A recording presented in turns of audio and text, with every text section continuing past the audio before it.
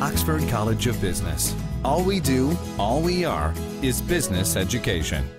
ඊයේ වැට්බදු පනත පිළිබඳ ශ්‍රේෂ්ඨාධිකරණයේ තීන්දුව දිහා හැල්ලා බලද්දී අපේ ආණ්ඩුක්‍රම ව්‍යවස්ථාවේ 152 වගන්තිය අනුව ඇමතිවරයෙක් මුදල් පනත ඉදිරිපත් කරන විට ඊට පෙර ඇමති මණ්ඩලයේ අනුමැතිය ලබාගත යුතුයි. ස්ථාවර නියෝග 133 අනුව ඇමති මණ්ඩලයේ අනුමැතිය ලැබුණු බව පාර්ලිමේන්තුවට දැනුම් දිය යුතුයි. පනත් කෙටුම්පතක් පාර්ලිමේන්තුවට ඉදිරිපත් කිරීමට පෙර. එතකොට නමුත් මුදල් ඇමතිතුමාට මේ කෙටුම්පත ඇමති මණ්ඩලයට ඉදිරිපත් කරගන්න බැරි ප්‍රශ්නයක්. ජනාධිපතිතුමා කෙටුම්පත එන්නත් කලින්ම මම වැට්බද්දට විරුද්ධයි කියලා ප්‍රකාශ කළා. ජනාධිපතිතුමාගේ ලණුව කාලා ශ්‍රී ලංකා නිදහස් පක්ෂයේ ඇමතිවරු වැට්බද්දට එරෙහිව පොළු අමෝරාගෙන ප්‍රකාශ නිකුත් කරමින් හිටියා සිංහනාද කරමින්. දැන් ශ්‍රී ලංකා නිදහස් පක්ෂයේ ඇමතිවරුන්ගේ නම්බුව බේරගන්න ඇමති මණ්ඩලයට දැම්මොත් මේ කෙටුම්පතට මොනවා හෝ සංශෝධනයක් කරන්න වෙනවා. රවි කරුණානායක ඇමතිතුමා තමන්ගේ කෙටුම්පත ශ්‍රී ලනීප ඇමතිවරුන්ගෙන් බේරගන්න තමයි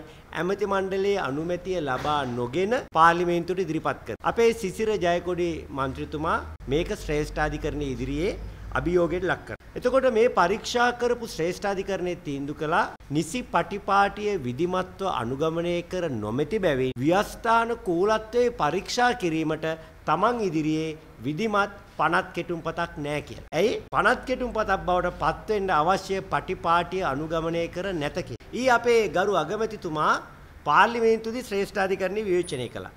එතුමා කියනවා ස්ථාවර නියෝග අනුව කටයුතු කළාද නැද්ද කියලා සොයා බලන එක පාර්ලිමේන්තුවේ වැඩක්. ව්‍යස්ථානුකූලත්වයේ පරීක්ෂා කිරීම පමණයි ශ්‍රේෂ්ඨාධිකරණයේ වගකීමකි. ගරු අගමැතිතුමනි ඔබතුමාට ආණ්ඩුක්‍රම ව්‍යවස්ථාවේ 78 දෙක වගන්තිය අමතක වෙලා හැඩයි. 78 දෙක වගන්තියේ කියනවා පාර්ලිමේන්තුවට පනතක් ඉදිරිපත් කරද්දී ස්ථාවර නියෝගවල තිබෙන පටිපාටිය අනුගමනය කළ යුතුය. අන්න ඒ 78 දෙක වගන්තිය හරහා ස්ථාවර නියෝග අනුගමනය කිරීමත් ව්‍යවස්ථාපිත වගකීමක් බවට පත් වෙලා තිබෙනවා. ඒ නිසායි ශ්‍රේෂ්ඨාධිකරණය තමන්ගේ වගකීම නිසි ලෙස ඉටු කරමින් ස්ථාවර නියෝග අනුවත් කටයුතු කරාද කියන එක පරීක්ෂා කරලා බැලුවා. ඒ වගේම අගමැතිතුමා ඊයේ තවත් බෝම්බයක් අතෑරි. රාජපක්ෂ ආණ්ඩුව කාලේ මේ වගේ ඇමති මණ්ඩලයට අනුමැතියෙන් තොරව පනත් ඉදිරිපත් කරලා තියෙනවා. මේවා පනතක් පාර්ලිමේන්තුවේ සම්මත කරාට පස්සේ අධිකරණයේ ඉදිරියේ අභියෝගයට ලක් කරන්න බැරි වුණා. එතුමට බයක් තියෙනවලු මූලික අයිතිවාසිකම් නඩු හරහා මේවා අභියෝගයට ලක් කරાવી කියලා මේ රාජපක්ෂ යුගයේ පනත් බේර ගැනීම වෙනුවෙන් එතුමා ඊයේ පෙනී සිටමින් කතා කරා. එතකොට ඇත්තෙන්ම පළවෙනිම කියන්න ඕනි ශ්‍රේෂ්ඨාධිකරණයට වෙලාවක්වත් වගකීමක්වත් දැ පාර්ලිමේන්තුවට එන හැම පනත් කෙටුම්පතම ව්‍යවස්ථානුකූලද නැද්ද කියලා පරීක්ෂා කරන්න. ඒ වගකීම පැවිලා තියෙන නීතිපතිවරයා. හැබැයි නීතිපතිවරයා ඒ වගකීම හරියට ඉටු කරන්නේ නැතුව පනතක් ගැසට් මගින් ප්‍රසිද්ධ කරොත් විපක්ෂයේ වගකීම තමයි මෙන්න මේ ආණ්ඩුව කියන මේ පනත නිසි පටිපාටි අනුගමනය කර නැහැයි කියලා ශ්‍රේෂ්ඨාධිකරණ ඉදිරියේ අභියෝගයට ලක් කිරීම.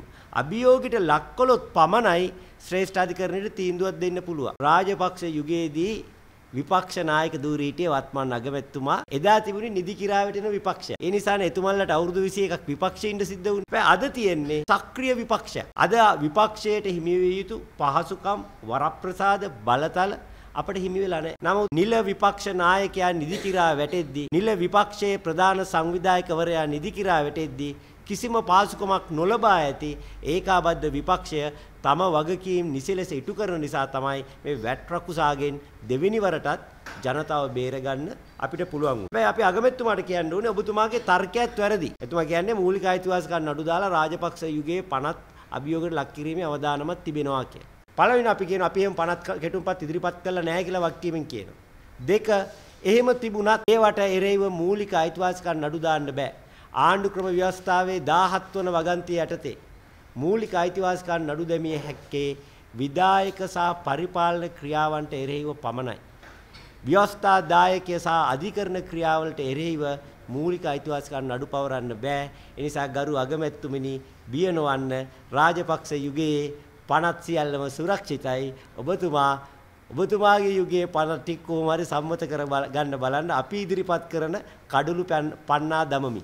කියලා අපි අගමැතිතුමාට යෝජනා කරනවා. ඒ වගේම මේ ශ්‍රේෂ්ඨාධිකරණයේ මේ පනත් කෙටුම්පත පිළිබඳ තීන්දුව දෙදී ඉතා වැදගත් දෙයක් කියනවා. මේ විධිමත්ව ඉදිරිපත් කළා නැති නිසා මේක නිසි පනත් කෙටුම්පතක් නෙවෙයි. ඒ නිසා අපි ඒකේ ව්‍යවස්ථානුකූලත්වය පරීක්ෂා කරන්නේ නැහැ. එහෙමනම් ශ්‍රේෂ්ඨාධිකරණයේ අන්තර්ගතය ගැන බලලා නැහැ. පටිපාටි දිහා බලලා විතරයි මේ තීන්දුව දුන්නේ. මේ පනත් කෙටුම් පතම ඇමති මණ්ඩල අනුමැතිය අරගෙන යලි පාර්ලිමේන්තුවට ගෙනාවොත් තුන්වෙනි වතාවටත් වැට් බදු පනත අභියෝගයට ලක් කරන්න ඒකාබද්ධ විපක්ෂයේ සූදානම්. විශේෂයෙන්ම පාර්ලිමේන්තුවේ ආණ්ඩුව හදාගෙන තියෙන බලයත් එක්ක අපිට වැට් රකුසා මරා දාන්න බැරි වුණත් වැට් රකුසා ජනතාව ගොදුරු කරගන්න එන එක ප්‍රමාද කරන්න කකුල් මාට්ටු දැමීමේ හැකියාව තියෙනවා. අපි දෙපාරක් සාර්ථකව දැම්මා. අපි ජනතාවට පොරොන්දු වෙනවා තුන්වෙනි වතාවටත් කකුල් මාට්ටුව දානවා දානවාමයි. ඒ වගේම අපි මේ දවස්වල තනසිල්ලේ බඩු විකුණන වෙලෙන්දන් වැට් නැතුව බඩු මිලදී ගන්න පාරිභෝගිකයන් වැට් බඩු ගෙවන්න නැතුව ලේ මුත්‍රා පරීක්ෂා කරගන්න රෝගීන් ඒ වගේම වැට් ගෙවන්නේ නැතුව සැත්කම් කරගන්නා රෝගීන් නොමිලේම මේ නීති සහාය සපයපු ජනාධිපති නීතිඥ මනෝහර්ද සිල්වා මැතිතුමා ඇතුළු නීතිඥ මඩුල්ලට විමල් වීරවංශ මන්ත්‍රීතුමාටත් සිසිර ජයකොඩි මන්ත්‍රීතුමාටත් දිනපතා පින්දිය යුතුයි කියලා අපි හිතනවා.